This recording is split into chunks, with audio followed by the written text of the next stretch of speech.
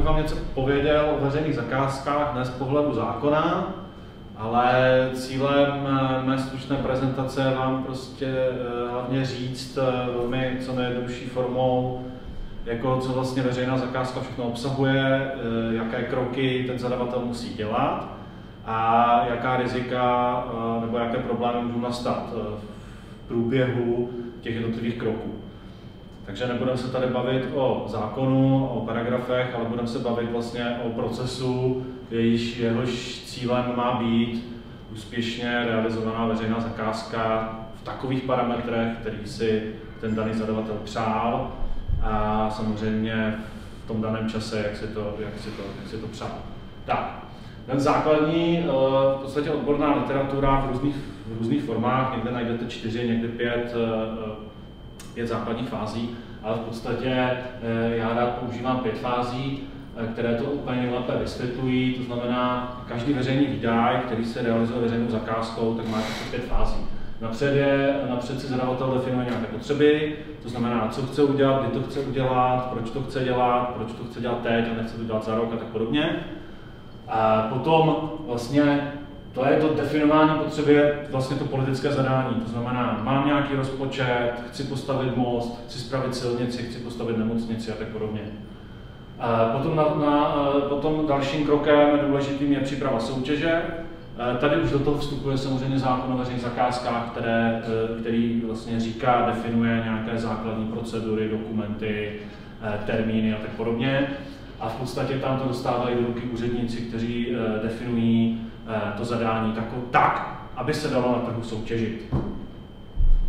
Třetí fáze Eh, je tam samotný to gro výběrového řízení, to znamená, eh, je tam nějaká základní komunikace mezi zadavatelem a uchazeči, nebo respektive mezi zadavatelem a trhem, vyhlásí se zakázka, eh, přichází nabídky, ty nabídky se nějakým způsobem administrují, přijde fáze ta klíčová, to znamená hodnocení nabídek, a vybere se dle určitých kritérií ta nejlepší nabídka na trhu, a potom přistupuje se eh, k fázi realizace, to znamená samotné plnění toho předmětu té zakázky a nakonec přichází ukončení, zdárné ukončení zakázky, vyhodnocení toho výdaje a v podstatě to ukončení zakázky by mělo uzavřít celý ten cyklus a v ukončení zakázky by se měla odehrát určitá nějaká zpětná vazba pro toho zadavatele, co všechno udělal dobře, špatně, jak ta celá jeho snaha dopadla a zda byl ten efekt nebo ten,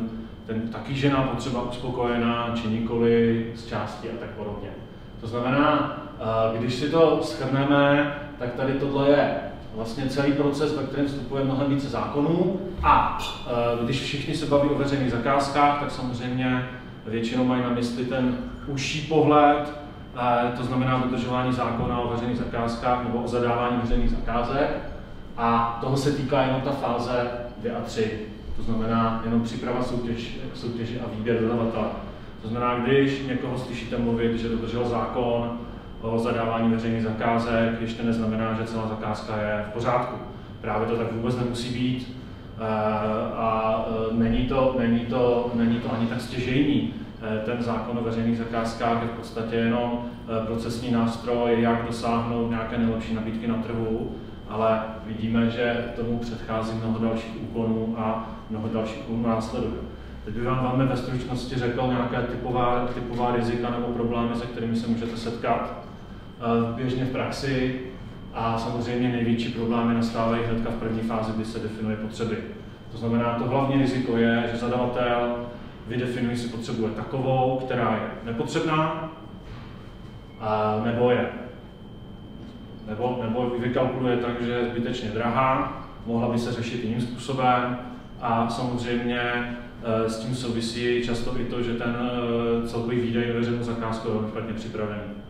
Třeba typicky, když to stáhnu na, minulé, na minulou historii magistrátu, typicky projekt OpenCard má všechny znaky rizika v, tomto, v této fázi. To znamená, eh, velmi, velmi, jako, velmi nadnesený, velmi špatně připravený business plán, Eh, absolutně nulová příprava nějakého projektového týmu na straně magistrátu.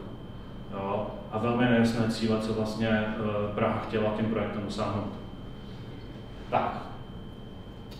Napřed si řekneme tady ty rizika, a potom si řekneme, co vy jako zastupitelé můžete udělat pro to, aby se to změnilo, případně co byste mohli měli po úřadu chtít a doptávat se a uh, dělat si nějakou svoji vlastní uh, kontrolu nebo watchdog těch veřejných výdajů. Tak, v přípravě soutěže, tam je to celkem logické, tím největším rizikem je, že ta potřeba moc jako nereflektuje ten trh a spíše naopak v definici té potřeby se vyskytují věci, které ten trh omezují. To znamená, typicky je to šití zakázek na míru, vy zadávací dokumentaci máte nějaké detaily, které v podstatě podstatně omezují soutěž a dostanete se k tomu, že těch nabídek je mnohem méně nebo dokonce jenom jediná na světě. Takže u přípravy soutěže riziko uh, uh, šití na míru, samozřejmě další, další riziko spojené s tím, že zadávací podmínky nejsou uh, buď neodpovídají úplně té potřebě, která se definovala, anebo, nebo jsou nejasné, to znamená, má to silné znaky netransparentnosti. Typicky například, když máte hodnotící kritéria, která jsou kvalitativní a v podstatě každý si pod tím může představit něco jiného, například budu hodnotit kvalitu 20% váhou, jo? což bylo třeba oblíbené a tak podobně. To znamená, pod tím si uh, můžete subjektivně představit cokoliv a samozřejmě otázka, jak se s tím popere hodnotící komise. Tak, ve fázi výběru uh, dodavatele, to znamená v té hodnotící fázi, samozřejmě to nejhorší, co se může stát, je to, že si vyberete špatného dodavatele. To znamená, bude drahý, nekompetentní, uh, to znamená, nevybíráte si to nejlepší na trhu. A to je dáno nejenom tím, jaké máte kritéria, ale jakou používáte i nějakou zadávací proceduru. A uh, v té fázi realizace samozřejmě uh, to riziko je uh, po, po té fázi definování potřeb asi největší, protože když si představíme nějakou jakoukoliv korupci, která se domlouvá třeba dopředu, je tam domluvený určitý podvod a tak podobně, tak vždycky k té tvrdé bych to řekl, tvrdé korupci nebo k těm podvodům dochází v případě, že teda jde o reálné peníze. A o reálné peníze jde právě ve fázi realizace. Tam se, tam se fakturuje, eh, tam se eh, fiktivně fakturuje, nebo se, eh, nebo se, nebo se dejme tomu nějakým způsobem ovlivňuje kontrola tak, aby se generoval korupční zisk. Nikde jinde ho v těch jiných fázích jako nemůžete generovat. Pouze při té realizaci, kdy dochází ke konkrétní platbě a kde dochází ke konkrétním výdajům z veřejného rozpočtu. Jo, takže tam ty největší rizika jsou v tom, že se porušuje smlouva, eh, že eh, je tam nějaká podjatá kontrola a v podstatě eh, realizuje se něco trochu jiného, než co původně bylo zadáno a co bylo nějakým přáním. Zase typický příklad, kdy eh, je podjatá kontrola, respektive eh, byla kontrola schodná nebo technicky z investora, to znamená reálná kontrola ve výstavbě, eh, byla majetkově propojená v podstatě s projektantem. Takový model velmi dlouho fungoval a možná ještě funguje stále na ředitelské silnice dálnice kdy ta zvlněná dálnice D47, to je typický příklad toho, kdy ty firmy podstatě projektovali a zároveň eh, prováděli technický dozor. Byla tam silná podjatá kontrola v podstatě ten zadavatel byl, uh, tahal, tahal za kratší konec, protože se musel spolehnout na uh, informace od technické dozoru, technického dozoru, který, který se najal. A technický dozor samozřejmě velmi ochotně přistupoval k nějakým dodatečným změnám v těch projektech, v úpravě technologií a tak podobně a e, tím pádem e, ten výsledek pro e, náš stát nevyzněl moc, moc pozitivně, spíše naopak byla z toho velká ztráta. Tak, a konečně ukončení zakázky, tam už v podstatě se nedá nic moc napravit. Tam v případě, že je něco v tom procesu špatně, tak se to samozřejmě projeví nejvíc v ukončení zakázky a typickým negativním jevem je, že to předané dílo, služba nebo, nebo nějaká dodávka v podstatě neodpovídá tomu původnímu zadání a neslouží těm veřejným potřebám, jak by měly. To znamená, je tam nižší kvalita, nebo se, to, nebo se realizace potáhla a trvá to déle a samozřejmě jde to na vrub, eh, jde to na vrub veřejnosti eh, a eh, samozřejmě hm, nebo, nebo, se, nebo, se, nebo se podstatně vlastně ten předmět zakázky změnil a bylo dodáno něco, co původně nebylo vůbec plánováno. Tak, kdybyste měli jakékoliv dotazy, tak dávejte v průběhu. Jo. Tak, a co vy jako můžete dělat v případě, že byste chtěli se podívat na nějaké zakázky a chtěli byste vědět, jestli například je zakázka dobře připravena. Takže jestliže jste zastupitelé zjistíte, eh, že úřad připravuje nějakou novou zakázku, která je vlastně podstatná, strategická, tak byste se měli samozřejmě eh, první ptát, jak je definována potřeba a je, zda je dobře vyargumentovaná ta potřeba. To znamená, měli byste znát odpovědi na co, proč, kdy, jak a kdo. Takže měli byste se podívat do nějakých studií proveditelnosti, záměru, cost-benefit analýz. Eh, měli byste se dívat, jestli eh, ten zadavatel má nějaké cíle, velmi dobře definované, měřitelné, jestli má nějaký plán zakázky, jestli ty úředníci sestavili nějaký plán zakázky, jestli jde vidět osobní odpovědnost. To znamená, tohle jsou všechno dokumenty, které jsou tady vyjmenované, které by vás měly přesvědčit o tom, že ta zakázka je dobře připravena. V případě, že něco z tohohle chybí, tak je to znak toho, že tam můžou být v budoucnu problémy. Samozřejmě největší problém zadavatelé mají zodpovědět otázku proč. Většinou to dozvíte, protože máme rozpočet, protože máme projekt Evropské unie, jo, protože, protože je to ve strategickém plánu a tak podobně. To je všechno hezké, soulad se strategickými plány, s nějakými projekty významně je hezká věc, ale samozřejmě mělo by tam být opravdu, k čemu to bude sloužit. A samozřejmě potom velká slabina jsou smart cíle, většina zadavatelů bohužel nás zatím toto neumí, takže oni neumí říct, jako, jaký bude konečný stav, čím, co se změní, eh, že zainvestuju například do opravy chodníků nebo eh, opravím jako most, tak opravu most, tak jako jestli ho rozšířím, tak kolik, o, kolik, o kolik aut tam třeba bude jezdit víc, jestli to někdo bude měřit, a jestli za pět let tam bude těch aut jezdit víc nebo míň a tak podobně. A jestli se dozvím, jestli ta investice měla nějaký, nějaký efekt. Jo, nebo stejně tak, když se hodně s oblibou investuje do IT systému, tak co se na tom úřadě zlepší? Například, já koupím IT systém a můžu propustit 5% úředníků. To je krásný cíl. Jo, hezky měřitelný, a za dva roky, co naběhne IT systém, tak, tak, tak propustím pět úředníků, 5%, anebo stávají, nebo nebudu propouštět, ale úředníci zvládnou větší objem práce. Například. Jo? Ale musím to umět změřit, abych si to mohl obhájit. Takže to je eh, fáze definování potřeb. U přípravy soutěže byste se měli zajímat hlavně o taková kritická místa. Když jsou eh, právě, eh, když je to riziko šití zakázky na míru, tak byste se měli ptát zadavatele, jestli byla provedena nějaká analýza trhu, že ji chcete vidět. Kdy byla provedena, na jakém vzorku, kdo to zpracovával a tak podobně. Zda byly nějaké předtržní konzultace. To znamená, zda zadavatel a s kým komunikoval v přípravě té zakázky, s jakými firmami, co od nich chtěl za informace, v jakém čase to bylo a tak podobně. Tyto všechny informace, hlavně předtržní konzultace, ten institut eh, ve stávajícím zákoně a měl by to být o tom záznam v zadávací dokumentaci. Jo, povinně. Ale samozřejmě bavíme se jenom v režimu jako zakázek jedoucích podle zákona. Tak, další věc, která je důležitá, úplně nejdůležitější, je zadávací dokumentace k soutěži. Znamená, jaký, jaký druh soutěže je vybrán a proč, a jaká, e, e, jaké jsou kladeny kvalifikační nároky na ty, na ty dodavatele, jaká jsou kritéria, jak se to bude hodnotit. Toto všechno by vám mělo dát zase znovu obrázek o tom, jestli e, ta soutěž je nějakým způsobem dobře připravená, reaguje na ten trh a je tam nějaká šance, že, se, že, že, že dostane ten zadavatel dobrý výsledek.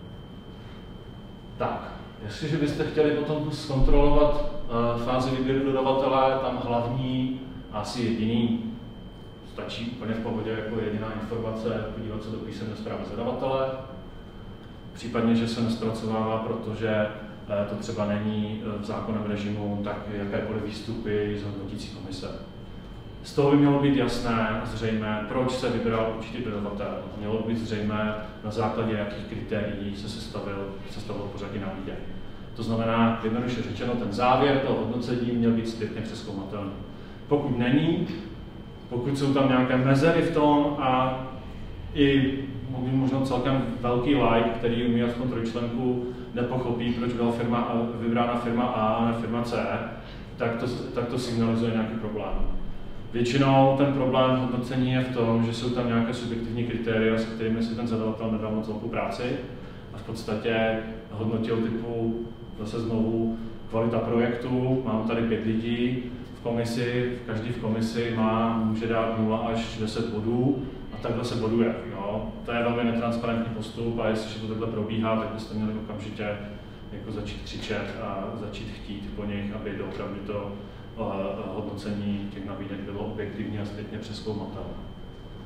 Tak, teď se dostáváme do té nejnáročnější fáze, a to je realizace.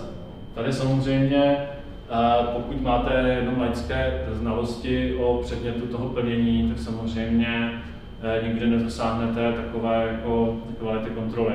Tady opravdu záleží, jestli tomu předmětu plnění rozumíte nebo ne. Ale určitě byste měli chtít záznamy eh, z průběžných a následných kontrol. To znamená, jakým způsobem, v jaké intenzitě. Můžete být největší like, ale není, není nebylo, ale stejně můžete zjistit, jak často třeba ten, ten dodavatel byl kontrolován a hlavně kým byl kontrolován. Takže záznamy z průběžné a následné kontroly, změnové listy ústavních zakázek, sledovat uzavírání smluvních dodatků. Tady k tomu no. dotaz měl, protože tím no. jsem měl zkušenost s tím, že jsem si vydal ty věci sám. No. Mi jasný, kam míříš. A zrovna IT projekty jsou dobrý příklad, který můžeme použít. Co s tím ve chvíli, kdy ten člověk, který nějakým způsobem je zodpovědný za to, že to bude vydat. V eh, tom nejtěžším případě je za to zodpovědný, protože to má třeba v gesci jako radní v koalici, to znamená, už mi stačí jenom upozorňovat, už je fakt zodpovědný za to, že to bude dobře. Přitom to, což se stává běžně, to eh, tak nějak utrpěl gesci, že to není jako mm. jeho odbornost, nebo mm. se čemu rozumět. A teď je teda situaci, kdy nějak tohle se proběhlo, on se snažil držet eh, manuálu, jak dělat dobře výběr na dodavatele, teď má realizace, má ty zápisy, nerozumí. Teď by potřeboval vlastně nějakou oponentu, by mu někdo řekl, jestli to, co mu říkají úředníci, to, co mu říká dodavatel, jestli to dává smysl, anebo je, nebo jestli ho vlastně, jestli to jako všechno vypadá hezky, ale ve skutečnosti je tam nějaká vada, kterou by odborník samozřejmě okamžitě viděl. Co jako poradit takovýmhle, takovýmhle lidem, jako kam je poslat, kde, kde si říct svou pomoc, aby jim někdo, aby jim někdo řekl, ale tohle je blbost, potom to musíš jít, anebo tohle to sice vypadá, jako že tam je problém, ale tohle je normální, tady za to je nekoupej. Jo. Jasně. Je, asi víš, o čem mluvím, že to je Jasně. těžko uchopitelný. Když jsem ty projekty dělal, tak jsem samozřejmě dobře věděl, kde, kde, kde něco smrdí a tu zakázku rušíme a kde to je prostě jenom přirozený důsledek špatného zadání jasně.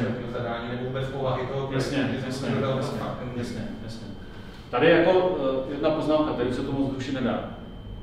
No, no jasně, to se bavíme o přípravě soutěže. Jo, u přípravy soutěže, jestliže, u přípravy soutěže tady uh, v případě definování potřeb, že tady se definuje technické řešení, uh, tak samozřejmě v případě definování potřeb, jestliže vy máte pocit, že na své úředníky se nemůžete spolehnout, tak nezbývá, než si koupit jako hold jako externí službu když to beru jako na začátku, když nevím, jestli se na ně můžu spolehnout, potřebuji nejdřív si ověřit. To je těžko, to je, to je hádanka. To je jako, jestli se můžu na ně spolehnout, dokud nedají žádný problém, je těžko říct. Třeba jsou úplně super. Takže to bude trošičku na každém zvlášť. Přesně tak, na tohle se nedá moc dobře odpovědět, jako tady, jako, fakt tady každá data drahá.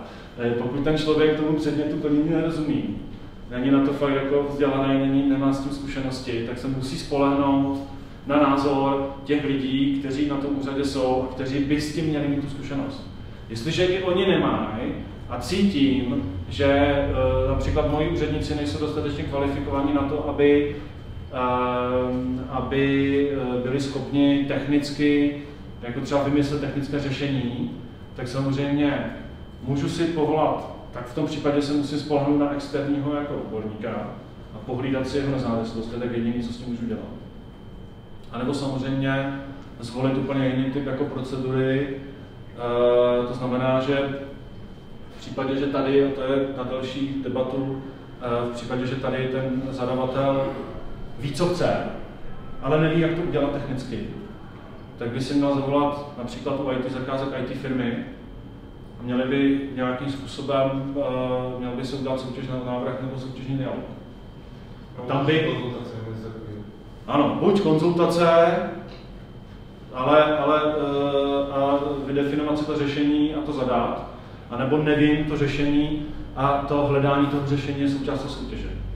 Jinými slovy, ale obecně, pokud uh, mi úřad tvrdí, že to zvládá, prostě běží to, já tomu se rozumím, tak byste doporučoval prostě smířit se s tím, že tam bude nějaký přidaný výdaj na to, že si na to budu muset prostě někoho najmout, že tady není nějaký snadný způsob, jak se pustí na konektoru, bez toho, abych měl externistou, který mu věřím, že, že mi dá ano. Eh, relevantní odborný názor. Ano, odbornou oponenturu. A samozřejmě vy jako, eh, když, jsou, když jste jako v, jako v radě, na nějaké samozprávě, tak vy se musíte spolehnout na ty úředníky do značné míry. Jako nelze těm úředníkům absolutně nedůvěřovat. Spíš mluvím o té situaci, kdy je tam člověk nově a ještě neví, jestli se na ně spolehnout a neví, jestli na ně má být hodný nebo zlej. Jasně, no, chápu. to může být tak i tak. Já vím, chápu, jo, chápu. Ale říkám, na tohle vy si musíte hlavně ohlídat. Tady to, aby kdokoliv toto kontroluje, tak by měl nějakou integritu, aby to byl profesionál, a nebyl podjatý. Pozor na to. Ta podjatost se velmi, velmi snadno děje právě na úřadech, jak jsi zmiňoval, věcně příslušný odbor, věcně kompetentní úředník. Ten věcně, věcně kompetentní úředník většinou připravuje zadání. Jo? A tady, jelikož jediný, kdo na tom úřadu tomu rozumí, tak zároveň kontroluje tu realizaci. To je jako podjatost par excellence. A dělají to tak všechny úřady a to tak všude pevně nastaveno. Proto to tak jako ano. tam, že to tak. Jo, technicky, technicky řečeno, e, samozřejmě, nebo z hlediska nějaká administrativní náročnosti to má svoje logiku, protože abych měl mít dva lidi na něco, když jeden člověk stačí a rozumí tomu, ano, e, je to jednodušší e, i organizačně, ovšem na druhou stranu musíte počítat s tímhle rizikem, které tam přitom že tento člověk, který kontroluje tu realizaci, tak samozřejmě na kontrole dodavatele si děláme, jo? ale v případě té realizace se může dostat na to, že ta chyba není na straně dodavatele, na straně zadavatele. Toho zadavatele tam reprezentuje tento úředník, který připravoval tu zadávací dokumentaci, který definoval ten předmět plnění. A ten úředník, jsem si skoro stoprocentně jistý, že ten úředník vám neřekne, že udělal chybu v zadání. Ale bude říkat, že chyba je na straně dodavatele. Tím se dostává do takového průtného kruhu, že nevíte, kde je pravda. Jo. Já neříkám, že by se to mělo u všech zakázek, ale u strategických zakázek, zakázek od nějaké hodnoty, které jsou velmi významný výdaj pro váš rozpočet, nebo je to zakázka, eh, kterou, kterou stojíte, aby dopadla dobře, protože eh, na to máte postavenou svůj jako nějaký slib, svoji kariéru, eh, jo, tak samozřejmě tam bych, tam bych jako doporučoval, aby ty fáze byly jako oddělené, aby na tohle minimálně dohlížel, někdo trošku jiný, kdo neměl s tím, eh, s tou přípravou zadání jako nic společného. To znamená, abyste tam měli alespoň nějaký jako prvek nezávislosti v té kontrole. tady to obecně řekl, je to samozřejmě takový ten jednorožec, který na tom úřadě většinou nebývá. Ideální člověk, který má úplně jedno, počne ten projekt a vůbec mě jako nezáleží na tom, jestli je nebo není úspěšný. No jasně. To je no. v podstatě eh, nejlepší předpoklad, protože nebude podjatý a že bude objektivní protože to prostě je jedno, jak to dopadne. Jo. To, je, to, už záleží, to už záleží na tom řešení, já bych doporučoval od nějaké výše, to záleží kdy ta výše se špatně určuje, e, že záleží, kolik ten zadavatel ročně zadává zakázek a tak podobně, to znamená, co je pro něho velká zakázka, to je, to nám tady záleží, jak ten úřad velký, kolik ročně utrácí peněz. Ale určitě bych od nějaké, od nějaké míry, jako jestliže posuzuji, že ta zakázka je fakt podstatná, tak bych tam pustil právě ten nezávislý element. eh, tady v té realizaci. Stejně tak, jako když se budete nalíknout právě hlavně na ty stavební práce, taková jako technicky to investora, tak samozřejmě zase se smluvního, aby nějakým způsobem nebyl propojený s dodavatelem s projektantem, jo? a mělo by to být standardní, standardní jako součást smluvních podmínek. V ideálním případě je lepší, když si vyberete DIčko dopředu a potom, jako když soutěžíte dodavatele, tak řeknete, a podmínkou dodavatele je, že neznáte tuto firmu. jo? Že s ní nemáte nic společného. Jinak vám tu zakázku nedám. Tak, a poslední fáze ukončení zakázky. Tady většinou všichni si myslí, že jakmile je vyfakturováno a je to, je to, je to jako předáno, tak je hotovo.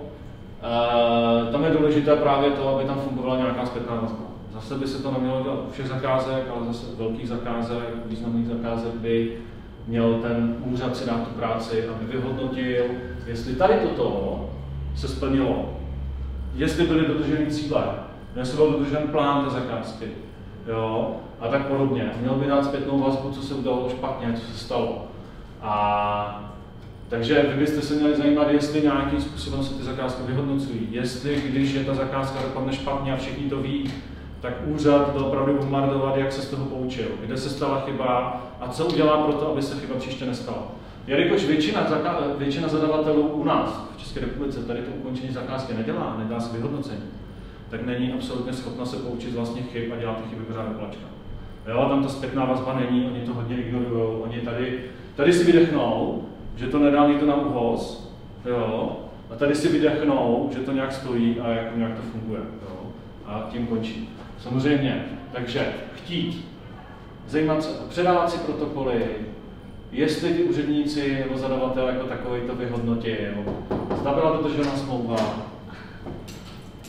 Ahoj, já se omlouvám.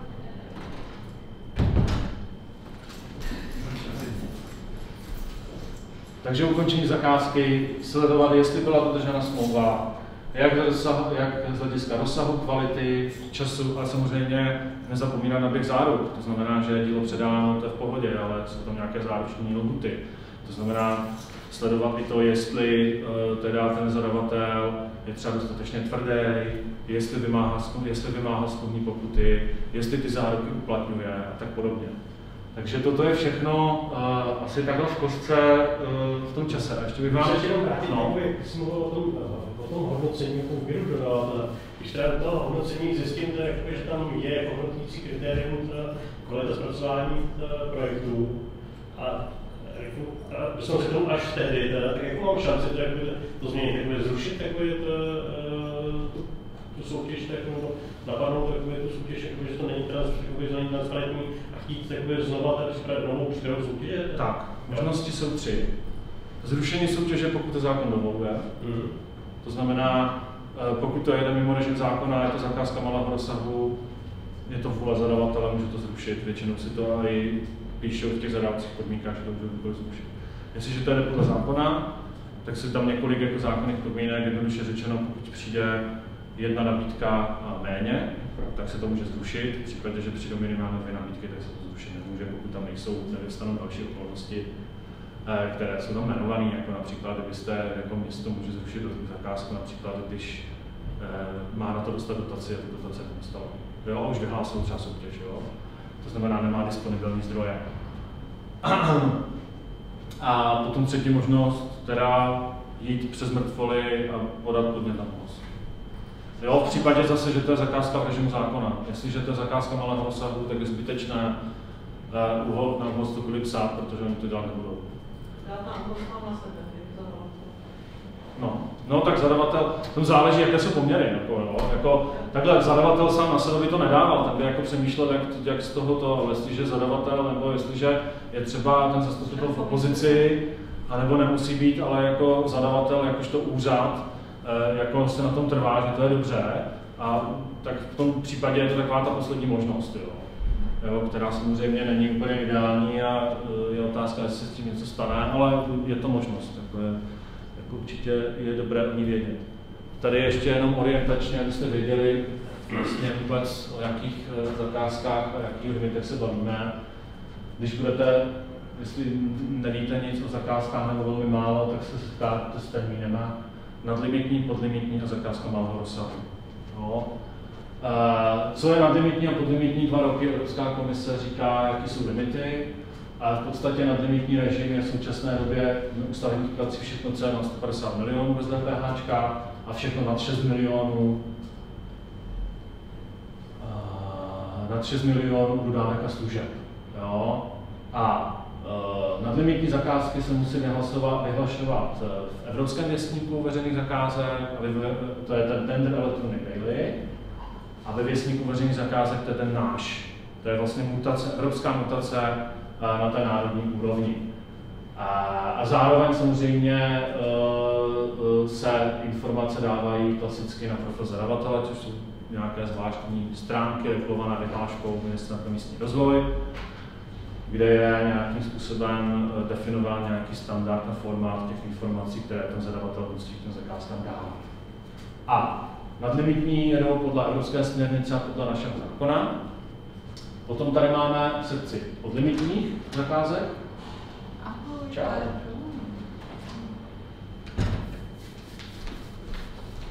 Tak, Eh, takže druh eh, podlimitních zakázek, ty jsou od 6 milionů do těch 150 milionů bez DPH, stavebních prací dodávek služeb od 2 milionů po limit. Tady už se informace zveřejňují pouze ve věstníku veřejných zakázek a na profilu zadavatele, to znamená, není tam povinnost to dávat na ten evropský věstník a regulace probíhá uh, pouze podle zákona o zadávání veřejných zakázek. Jo. A potom uh, jsou zakázky malého rozsahu, to znamená stavební práce do 6 milionů a dodávky až do 2 milionů. Tam v podstatě je regulace velmi slabá, tam ne, neplatí zákon, tam neplatí opravné prostředky, tam neplatí uh, podněty na úhoz, tam úhoz vlastně vůbec na to nedohlíží a v podstatě není žádný oficiální kontrolní mechanismus, ani sankční. A jediná jediný, co tak, se, tak je povinnost, aby zadavatel dodržoval paragraf 6, tam jsou ty čtyři základní zásady. Transparentnost, rovné zacházení, zákaz diskriminace a, a, a přiměřenost. No, ale v podstatě nikdy nemáte žádnou oficiální autoritu, která by e, rozhodla, že něco bylo nebo nebylo přiměřené, transparentní, netransparentní a tak podobně. A tam jediná zákonná povinnost je, že u smluv e, na půl milionu ta smlouva musí na profesionálata. Samozřejmě větších zadavatelů, kteří splňují zároveň podmínky nebo povinnost registr, eh, eh, uveřejňování smluv v registru smluv, tady ten nástroj nemá žádnou jako hodnotu a samozřejmě může být nahrazen, ale je řada zadavatelů, kteří to nesplňují a zadávají zakázky, v tom případě alespoň tyto zakázky. To znamená, jednoduše řečeno obce, které nemají povinnost uveřejňovat v registru smluv, tak ty smlouvy nad půl milionu najdete alespoň na profilu zadavatele jo, o zakázu malého rozsahu. Ale jakákoliv regulace už záleží jenom na zadavateli a na jeho interních směrnicích. Jestliže nějaké má, tak je to lepší, může se dobrovolně zavázat k nějaké transparentnosti, k nějaké štátní kultuře. Jestliže je nemá, tak je to alarmující, ale bohužel legální. Tak, eh, na tom Evropském věstníku a Národním věstníku tam v podstatě naleznete jenom informace o vyhlášených a zadání, zadaných zakázkách. To znamená, kdy se co vyhlásí, jak se to jmenuje, jaké jsou termíny a, a komu to bylo zadáno potom. No. Nic víc, to znamená ty úplně nejjednodušší informace, ty nejzákladnější. A na profilu zadavatele se dozvíte všechno podstatné. To znamená všechno, už ty detailní informace najdete na profilu, zadávací dokumentace, dotazy na zadávací dokumentace, jejich vysvětlení, písemná zpráva, ze které bylo jasně vidět, jako, jak se hodnotilo, jaký byl způsob hodnocení a smlouva a smluvní dodatky. Tak, to je z mé strany všechno. Ještě nějaké dotazy? Já vím, že to bylo strašně rychle, ale zadání bylo, že to máme 20 minut. Já bych možná trošku protáhl pár minut, protože já jsem do toho nechtěl eh, vstupovat eh, průběžně, protože to pokrývá nějaký svůj proces. Nicméně si myslím, že poměrně náročný jsou jednak ty stavební práce a jednak právě ty ty zakázky. Právě protože tomu málo kdo rozumí, že to dost často bývají velký objemy peněz a že mají svý specifika, který e, obtížně umožňují rozlišit, jestli je to pořád nebo jestli se tam děje něco nekalý. A tak nějak mě zajímá, jestli existuje nějaká best practice na to, jakým způsobem se má stavit ten projekt a jakým způsobem se má tohle připravovat. Protože největší peklo těch zakázek jsou vždycky více práce ve, stavebním, eh, ve stavebních zakázkách především proto, že skoro nikdy nejde předvídat, co všechno se objeví, až se zapne do země, nebo až se začne rozebírat ten barák, který se má opravovat a podobně. Že to prostě dopředu ten eh, soutěže není. U IT zakázek je to zase proto, že to je přirozená součást uh, té zakázky a že tam je to omezení, obzvlášť ve chvíli, kdy přišli ještě dva miliony, tam že to myslím že to nemůžeš měnit po více jak 10% zadání, že částky. A to je zrovna u IT zakázek se to zadání většinou jako vyvíjí. Je to evoluce, kdy na konci máš často něco úplně jiného na začátku a není to úplně neobvyklý, ale ten zákon v jistý míry svazuje. A umožňuje takhle dynamicky to řešit. Jestli na to je někde nějaký Žádný univerzální prostě jako málo. Já si třeba celý zakázku v pohodě poradím sám, Jasně. ale málo kdo má tuto možnost. Málo kdo má to štěstí, že já jsem prostě ještě navíc seděl do člověka specialisty veřejný zakázky, takže jsem měl pokrytý právo od někoho jiného a odbornost od sebe. Tohle je prostě vzácný komu, který málo který má zastupitel bude mít k dispozici. Tak. Jestliže slyším, že eh, se vyvíjela zakázka a eh, na třeba IT zakázka, že dopadla jinak, než se původně předpokládá, tak je to fakt jako selhání zadavatele, že neví, co chce. Ano, ale může se to stát. No, nemělo by se to stát. Takhle přesně, že zadavatel ví, co chce, ale vymyslí si řešení, který potom dobrý dodavatel určí, jako, že vlastně vůbec není No v tom případě by se to mělo stát tomu zadavateli jednou a příště by měl přistoupit úplně k jiné formě soutěže. No to jo. Ano, jestliže pořád soutěží stejně a pořád mu to dopadá stejným způsobem, tak ten zadavatel tam nemá tu zpětnou vazbu a absolutně ho ignoruje. Absolutně ignoruje zpětnou vazbu, to znamená, jestliže já jednou, já vím, že to je zakázka malého rozsahu, do 2 milionů na nějakou dodávku nějakého IT systému nebo upgradeu a zjistím, že v podstatě e, to mělo být za milion 900, Jasně, bude to zakázka malého rozsahu, najednou přijde dodavatel a řekne, že my jsme tady chtěli něco, co absolutně nejde. O tohle mi právě jde, aby, aby člověk, který nově sedí na radnici a řeší svoji první zakázku, si do tohohle nenaběh, aby jeho první zakázka nebyla přesně v. Jo. jo. Jestli existuje nějaký seznam, checklist, něco, co prostě... Checklist? Checklist existuje. Něco, co těm lidem aspoň trochu pomůže, jasně, je to hodně o nich. Checklist, checklist existuje. Jo, Checklist existuje, co všechno ty lidi musí udělat na to, než se spustí. To znamená, checklist je v té... Tady. Tady je checklist, jo. Aha. Tady je checklist. Neměl to speciál, jakože checklist speciálně pro určitý typy zakázek, že ne. prací ne. třeba chceš položkový rozpočet. Jasně. Věděl jsem zakázky, je prostě nevím. A když, ne, když to nevíš, když ti to někdo neřekl, tak ti to nenapadne. To je blbost, nemůže být stavební zakázka bez položkového. Jo, teda dobře, tak byl, ale já bych tomu říkal položkový rozpočet. Jo, jo výkaz výměr prostě. Jako, jasně, vlastně nastavení v té zakázce, jak se bude kontrolovat ten dodavatel, kdo dělá stavební dozor, takovýhle specifika. Člověk, který to nikdy nedělal, tak to samotný nenapadne, to musí někdo říct, aby to hlídal. Jo, tak. Jo, IT zakázek je to zase to, jakou formou se budou dělat více práce. No, tak bohužel, jak, jasně. jak se budou platit, jak se budou vysazovat. To jsou věci, které, když si to budou, tak si je povídáš, ale když nejsi, tak někdo musí říct, že na tohle se máš zakázky soustředit, si to tam je, a jestli je to dobře. Tak žádný, zase znovu, bohužel tady žádné metodické jako vedení třeba ze strany státu jako není.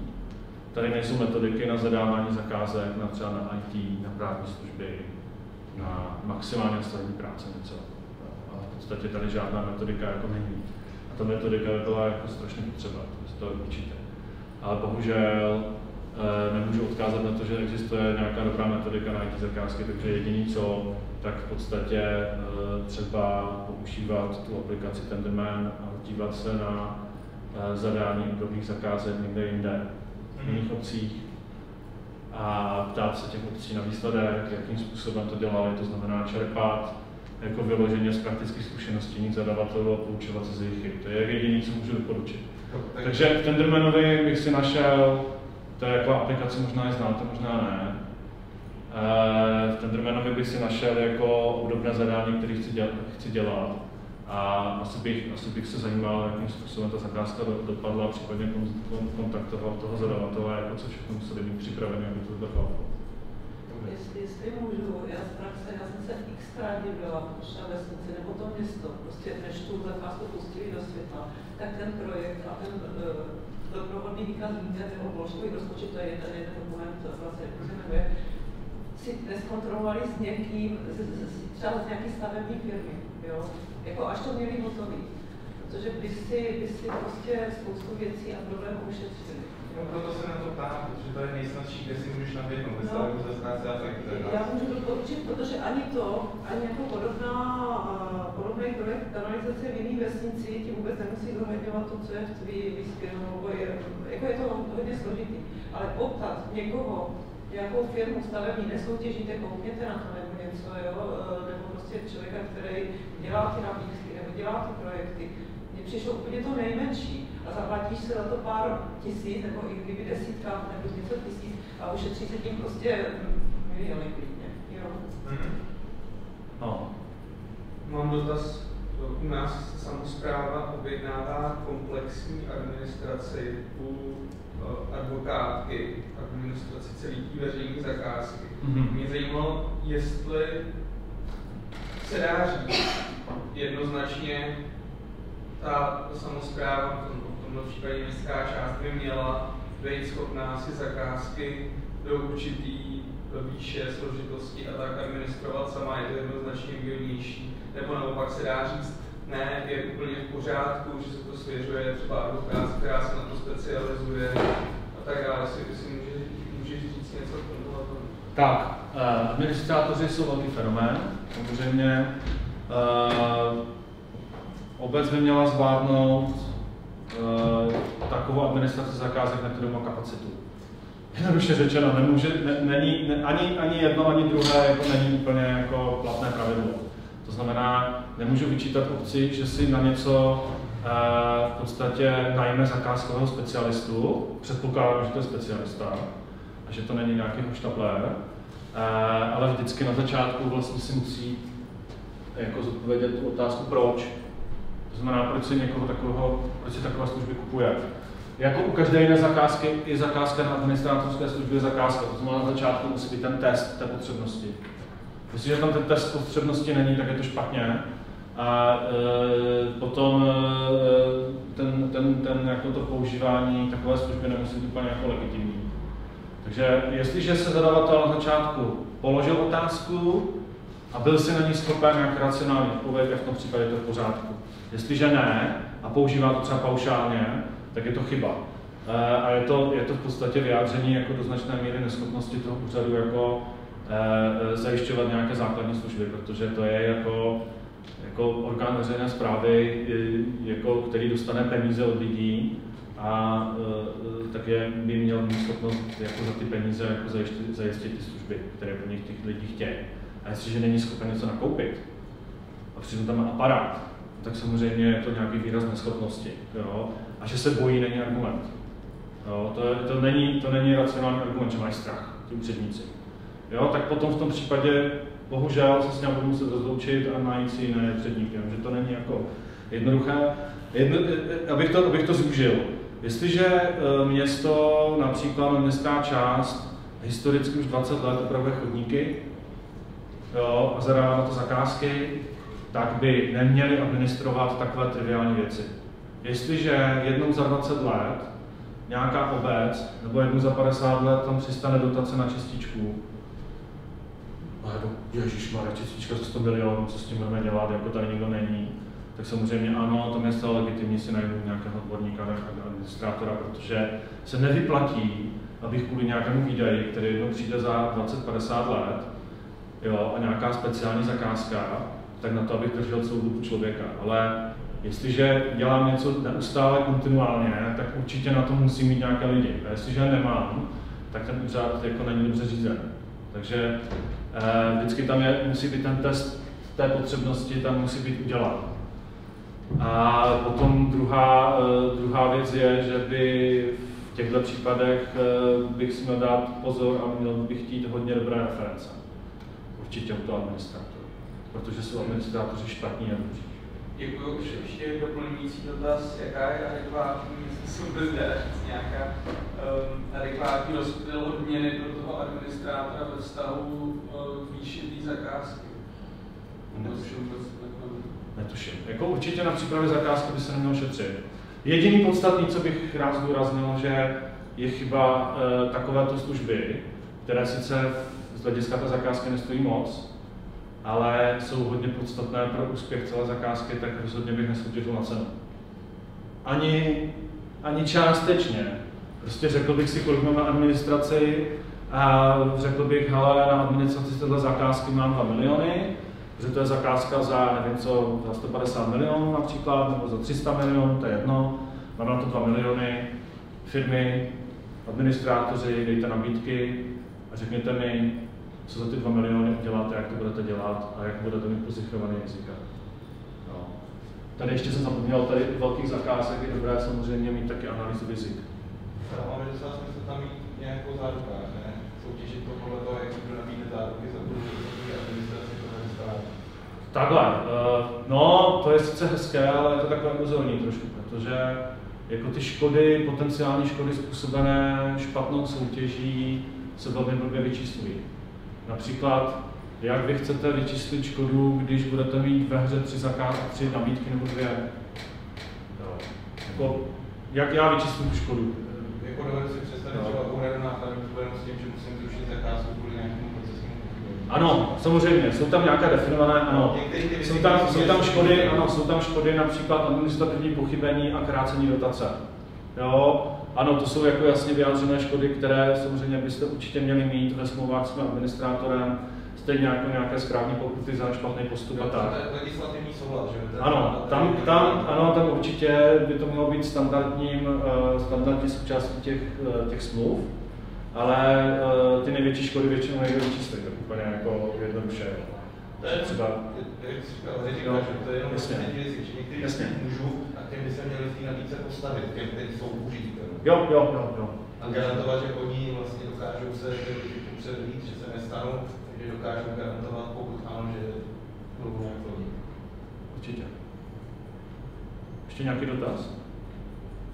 Jako, ne, to bohužel mnohem víc složitější, než, eh, eh, než to já jsem vám chtěl udělat nějaký jako eh, co nejstručnější komplexní obrázek o tom, co všechno, na co všechno byste měli myslet, když se budete zajímat o nějakou veřejnou zakázku. Že to není jenom o tom, jestli byl dodržený zákon.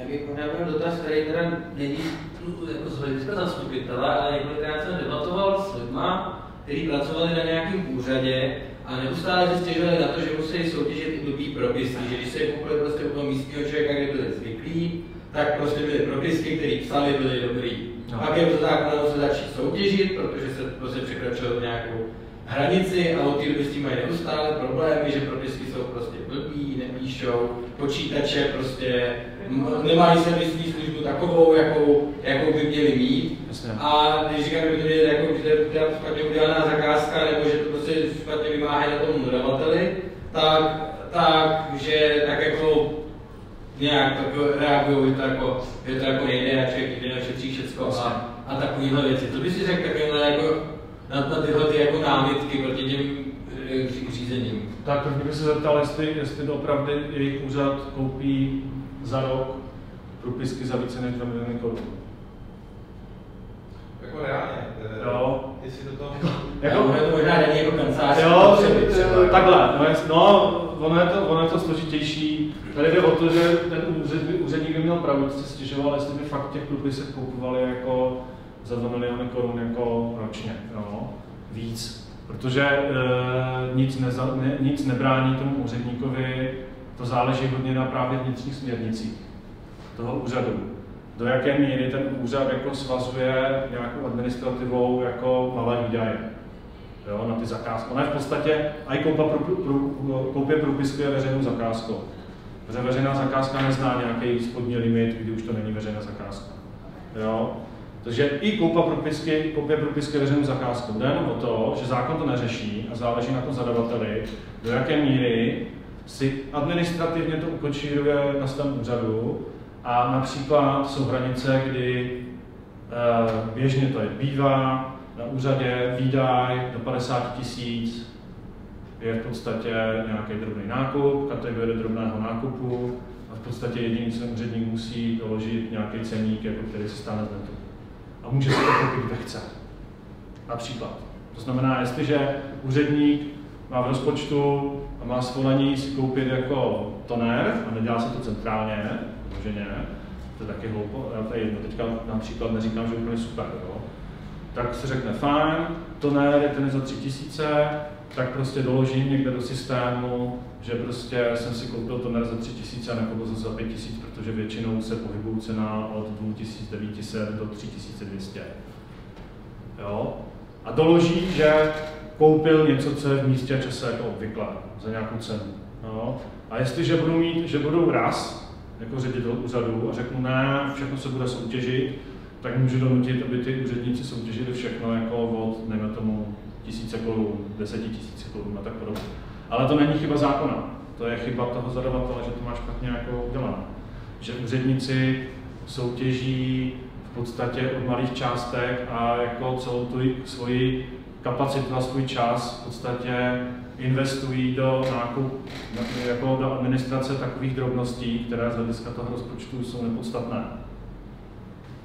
Já, jestli můžu, tak eh, tohle je docela dobrý téma na to, kdy bejt a kdy nebejt na úředníky zlej, protože oni dost často to smíchávají, z mých zkušenosti. A většinou za tyhle ty malé zakázky, protože jim přidělávají práci, eh, může neefektivní organizace toho úřadu, že mají většinou svoje vlastní nařízení a směrnice, které nutí zgrupovat ty zakázky do takového balíku, aby to bylo efektivní. Jenže už je to zároveň takový balík, který přeleze ten limit a nutí je soutěžit, což je zase naopak neefektivní pro ně.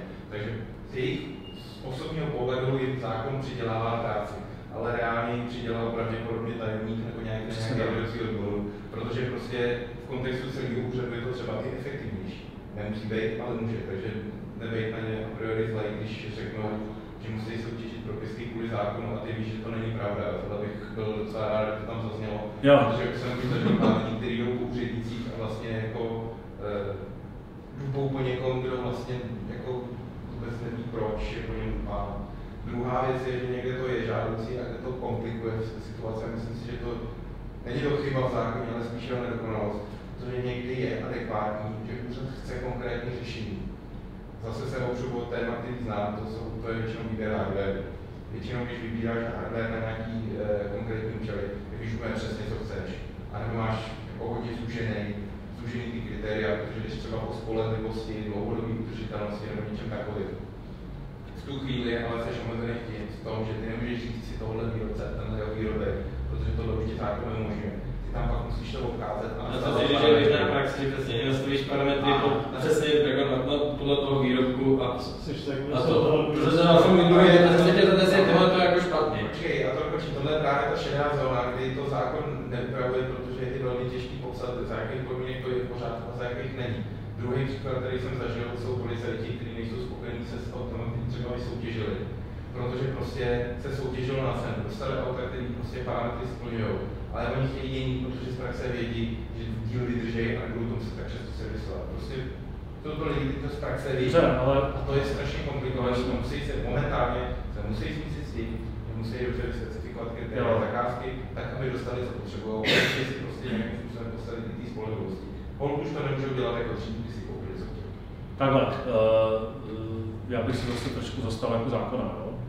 to v zákoně nemůžete mít napsaný, jako že, že, že tohle, že jako si koupíte, že si můžete koupit, když chci jako Ford, takže si koupím Ford. Jo. Jo, tam, jako, e, tam, se musí, tam se musíte vypořádávat s tím, že vy potřebujete něco, vy něco chcete, ale zároveň musíte jako dostat té povinnosti jako nechat v tom hospodářskou soutěž, ať si s tím popere. A e, samozřejmě, jestliže chci kvalitní auto, tak e, současný zákon to je totiž, jo, současný zákon vám říká, ale vy nemusíte soutěžit na cenu. Vy si můžete koupit dražší auto. Koupit si auto, který vyhovuje. Ale zároveň autor toho zákona už vám neřekne, jaký návod použít tak, abyste eh, to eh, vysoutěžili transparentně, jo, na základě nějakých jako čísel, objektivních měřitelných jako kritérií, a zároveň, abyste neskončili nejnižší ceny. A to ti zadavatelé neumí.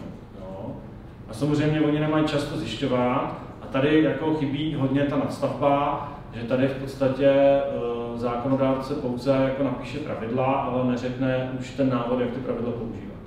A tudíž potom se dostává do tohohle problému. A já kdybych nakupoval policejní auta a chtěl nějaký spolehlivý, tak bych se pokud možno obracel nebo využíval bych nějaká, nějaká, nějaká jako kritéria spolehlivosti. Jo, jsou vím, já, nejsem, já jsem Google Live, já jsem nevyznám v autě, ale vím, že je nějaký rating spolehlivosti.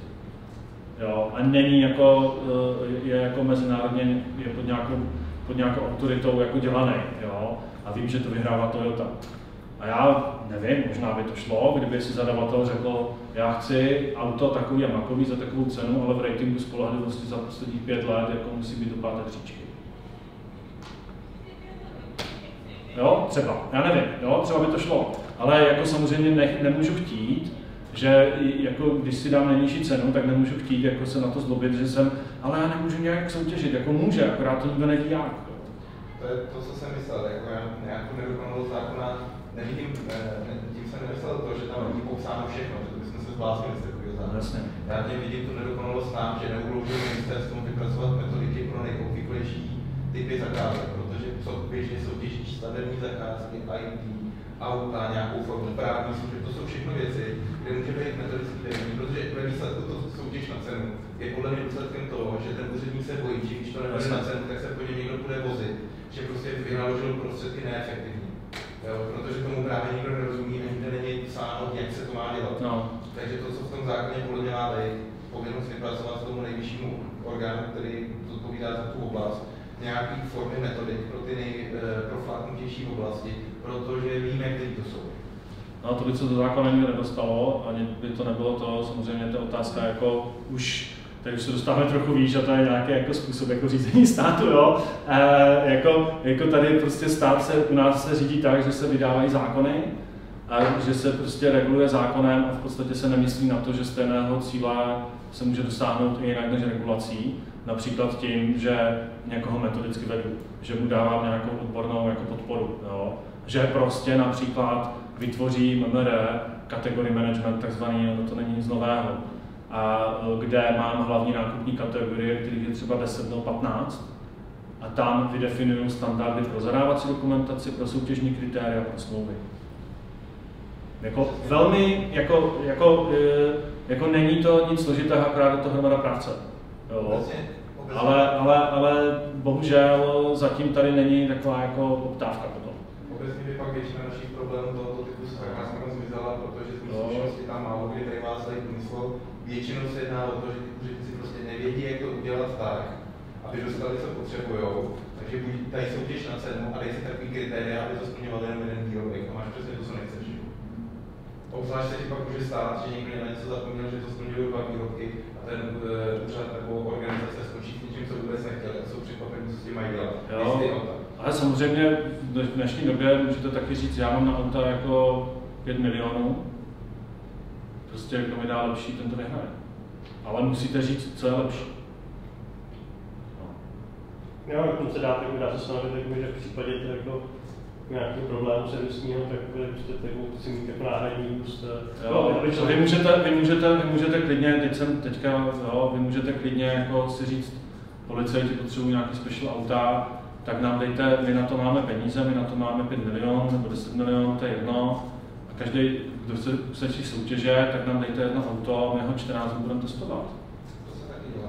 Jo, a normálně s tím budeme jezdit a budeme sepisovat jako plusy a minusy a prostě a uh, pak se to vyhodnotí a ten, kdo, ten, kdo uspěje nejlíp tak v tom hodnocení, tak to udělá. Nebo vojáci to dělají takhle dlouho, že jo, ale tak vojáci nemusí podle zákona. Jo. Jako, jo, i, i jako jsou různý alternativní způsoby, jakým způsobem se dostat k výsledku. Jako logický výsledek znovu pro policie je jednoduchý, že zeptáš se policajtů, ti vždycky řeknou, že chtějí škodovky, že chtějí otázky. No. Tak jako způsob, jako se zakázku je zjistit, proč otázky, co se jim na nich tak moc líbí a z toho udělat ty kritéria. Jestli se to dá měřit, tak. Se to dá měřit. Oni to jsou často měřitelné věci. No. Prostor v kufru, protože tam potřebují něco zastavit. Přesně tak. Ovladatelnost toho auta v těch náročných situacích. Ta vodovolnost, aby se jim nerozpadlo po každý, když někdo stíhají, že jo já nevím, prostor vevnitř pro posádku, prostor pro věci, jednoduchost zástavy těch, toho jejich vybavení, ty tam musí být, že Oni mají většinou ty kritéria jasně daní a ta otázka z toho A rychlost servisu jako jedno, no, tak. tak. Většinou skončíme, když jsem někdy přednášel, jsem většinou skončil tom, jak to udělat, abychom si nekoupili polský okna a dáče. no, takže tak.